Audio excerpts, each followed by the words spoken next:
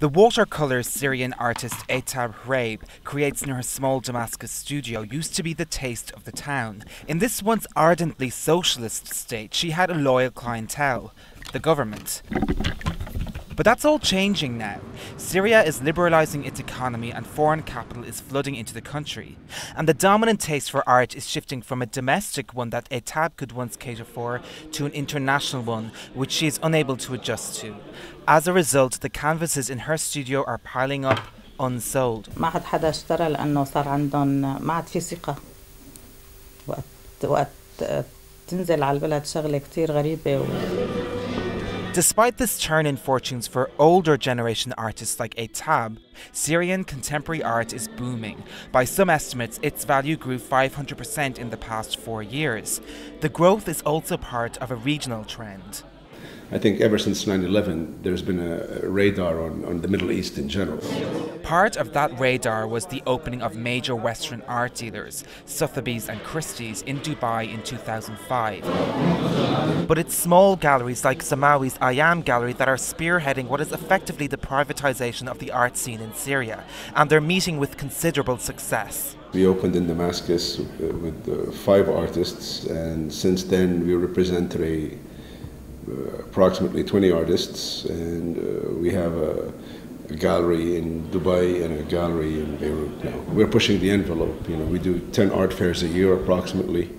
So we're taking Ayyam's artists to New York, to Miami, to Palm Beach, to Basel, to Hong Kong, to Beijing. These new expanding dimensions of the once closed Syrian art scene are producing a new breed of artists who, like Kais Salman, are abandoning the techniques and preoccupations of their forebears for art that is more sellable beyond Syria. And this shift is showing in the skyrocketing price tags. كان ممكن 2500 دولار حاليا ممكن تكون طلعت 10 12 ألف دولار. القيمة المادية ما ما كتير بتضيف للقيمة الفنية. ما لها علاقة. بس هذا دعم لاحترافيتك بالعمل لأنه المحترف While artists like Kais are meeting with fortunes their predecessors never dreamed of, there is a widening rift opening up between them and the older generation of artists like Etar Prabe, many of whom served as their teachers and mentors. صار علي كتير بس أنا طول عمري ما معتمدة على على البلد يعني لأنه في محسوبيات كتير يعني بس كنت كتير أحب شارك بالمعرض السنوي لأنه اللوحة بيعرف واحد بالمتحف رايحة But not all the older generation of artists have found themselves unable to adapt, and those few who have are now reaping the benefits.